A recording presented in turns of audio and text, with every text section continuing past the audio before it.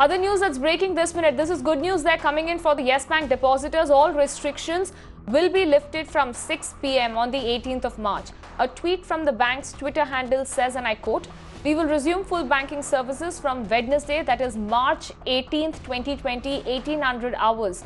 Visit any of our 1,132 branches from March 19, 2020, post commencement of the banking hours to experience our suite of services. You will also be able to access all our digital services and platform.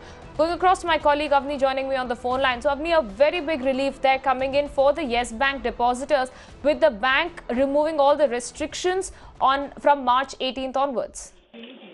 That's right. Uh, this is, of course, a big relief coming in for depositors. Remember, the entire uh, rescue plan for Yes Bank is now in place, and uh, SBI, along with a whole host of other banks, will be putting in money uh, into Yes Bank in an effort to uh, sort of uh, completely rescue the bank at this point in time. And the biggest takeaway, of course, is the fact that restrictions will be lifted from Wednesday, and depositors will be able to withdraw whatever they want at from that point in time. As of now, the restriction is for 50,000 rupees uh, limit on withdrawals at this point in time, Apurva.